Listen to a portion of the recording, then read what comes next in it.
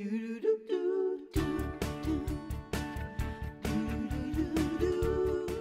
everybody. Amber Kemp Gerstel is. Yes!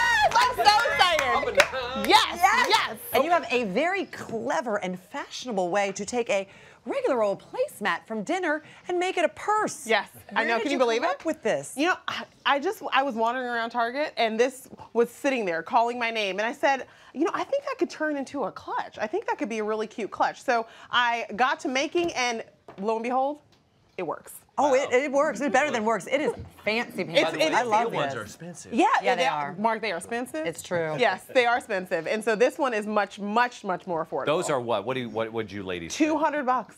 Yeah, What? that, that one on the left, Anya Hindmarch, very expensive. Yes, they're they're schmancy. Not around All right, so you got started on this a little bit earlier today. Yeah, so what you want to do is take the mat and fold the sides inward, and you, I like to use those clips to kind of hold it in place.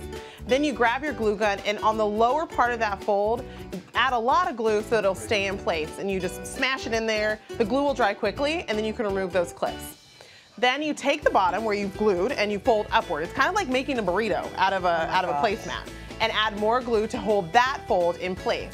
And then when you're done with that, you'll have kind of that pocket on the inside that, that looks like a purse, right? It's starting to look like a purse. Unbelievable. Then these are magnet clips, and you can get them at the fabric store, and you just push them through the woven mat. You don't need any scissors, and kind of push those um, those little pegs down and to hold it into place. So you'll put one part on the bottom, and then for the top, you'll do the exact same thing. You will push those pegs into place, fold them down, and that's how you close your clutch. That's how you have a, a clutch that will close. And that's basically the basic shape of a, of a clutch made out of a That placemat. is crazy. I am in complete awe. All you need is a glue gun. Yeah, a glue gun and a placemat. And a but if you want to kick it up a notch, So once you're done with that shape, this is what you'll have. Mm-hmm. And once you have that, I really like to go just scour fabric stores and find some beautiful trims. They can be really affordable, so this does not have to be expensive. And then you just grab your glue gun and start gluing them into place onto the front.